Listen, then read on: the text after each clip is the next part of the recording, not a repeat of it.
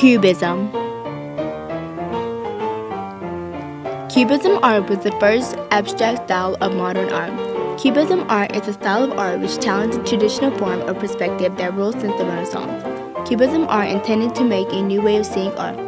Major Cubist artists were Pablo Picasso and George Braque, who came about this new style of art in 1907 by the influence of Paul Cézanne, and also by the influence of African art because of the expressive style.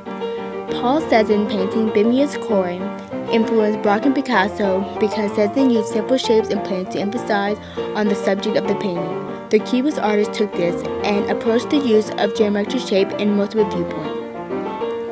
Jack Lipchitz said, Cubism is like standing at a certain point on a mountain and looking around.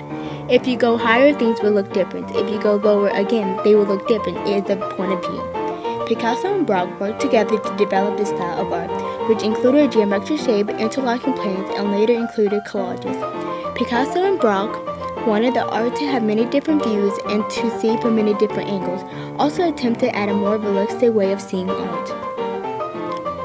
Other artists such as Juan Gris, Ferdinand Leger, and Robert Delaunay adopted the Cubist art. Cubism had two phases, analytical cubism and synthetic cubism. Analytical cubism was the early phase which lasted until 1912. It was distinguished by its geometric style and different viewpoints to create the image subject. However, analytical cubism limited on the color, which made the painting look dull. The recognizable and predictable analytical cubism led Braque and Picasso to develop synthetic cubism.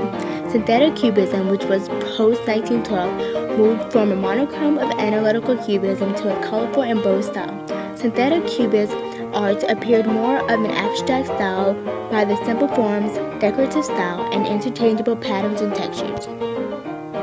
The first synthetic cubist artwork was Picasso's still life with chair caning, which introduces collage. Cubism gave people the ability to view art in many different ways. Cubism was made in France but soon developed across Europe. It influenced modern style of art such as Futurism, Constructivism, and Expressionism.